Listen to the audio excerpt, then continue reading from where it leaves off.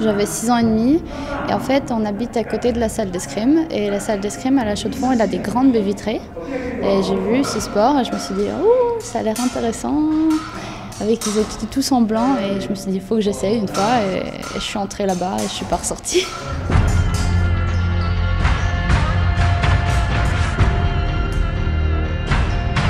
Modèle, alors en escrimeur il y en a un, euh, mais il a arrêté.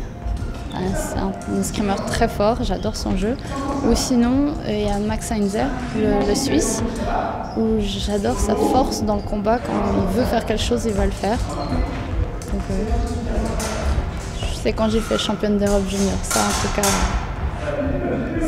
on se rend pas compte. c'est- On gagne et on se dit ah c'est fini, faut, faut pas refaire un match. Et j'adore cette, cette sensation, elle était vraiment cool.